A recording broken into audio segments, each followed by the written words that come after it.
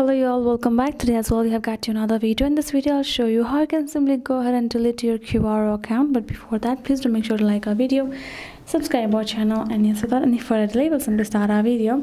For the matter what you would like to do is first of all going access accessing your web browser or simply opening up quora.com and then going to this search bar and typing on quora.com as i have done so. And then you will land on this kind of official website of it right with you are a regular user of it. So what you're going to do first of all make sure that you are signed in. So in my case i'm already signed in. You can see it over here.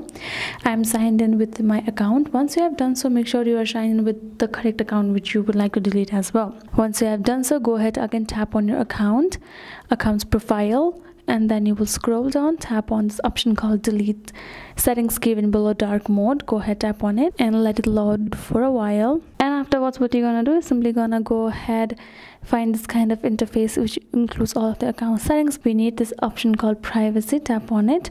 And now we will simply go ahead and scroll down. And then after you have scrolled down completely to the completely below then you can find this option called delete or deactivate your account below in section options.